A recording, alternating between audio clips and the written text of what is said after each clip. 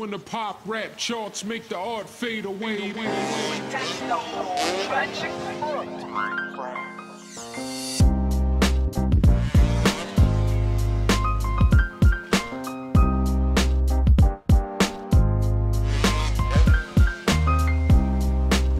The last few years for me has been um, been pretty awesome, even from riding to um, you know just being home. Uh, we moved in here in 2011 and kind of started with not much here, and even for me building the track here was pretty awesome and kind of move on from run thing and then I wanted to build the house and the shed and that's taken a long time but to finally be here is pretty awesome and to have my own space um, it's, a, it's a goal achieved for me.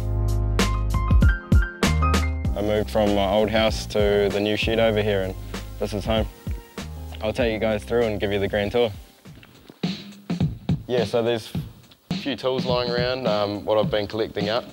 Uh, the Bobcat bike, got myself a car hoist which should be pretty fun. Kind of always just wanted a car hoist so I got one and makes it working on cars a lot easier.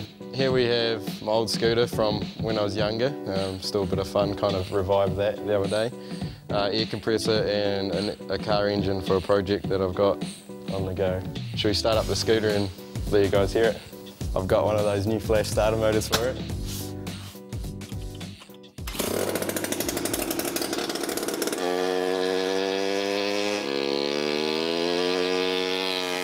Just mind your step there. So here it is. It's a pretty small little place. Um, start with the spare bedroom. Got a wardrobe in here, no door handle yet. Out here is the living area, um, open kitchen into living area, chuck the TV up there, couches here. My bedroom with the wardrobe. My favourite part about this place is definitely the deck. Um, should be good room for activities and uh, get to watch everyone ride out here.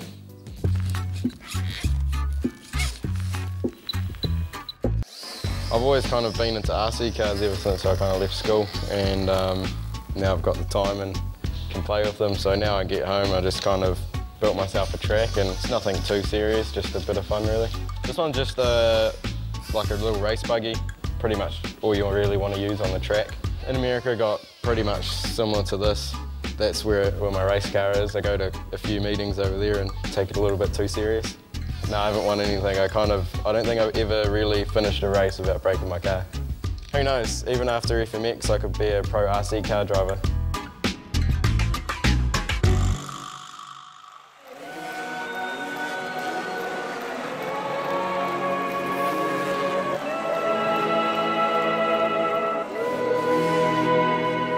Yeah, there's been some highs and lows from winning in 2012 and then going into a not so good last year. Um, you know, I'll be looking out for Thomas and, and Dany Torres again.